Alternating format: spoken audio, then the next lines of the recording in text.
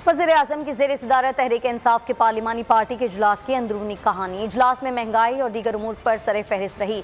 वज़ीर अजम ने महँगाई को आलमी मसला करार देते हुए वजरा और पार्टी अरकान को हिदायत दी कि वो महँगाई के इसबाब और असल हक से आवाम को आगाह करें। कहा, पाकिस्तान पाकिस्तान में दूसरे ममालिक की नस्बत कम महँगाई है। पाकिस्तान अशियाई खुरनोश की कीमतों में कमी के साथ मराहत और सब्सिडी भी दे रहा है।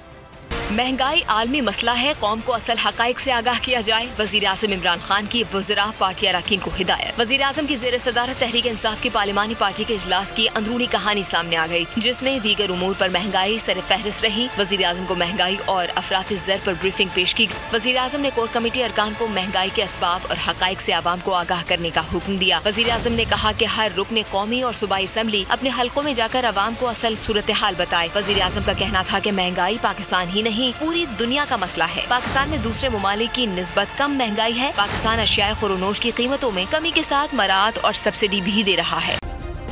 सब्सक्राइब करें और बेल दबाएँ ताकि कोई खबर रह न जाए।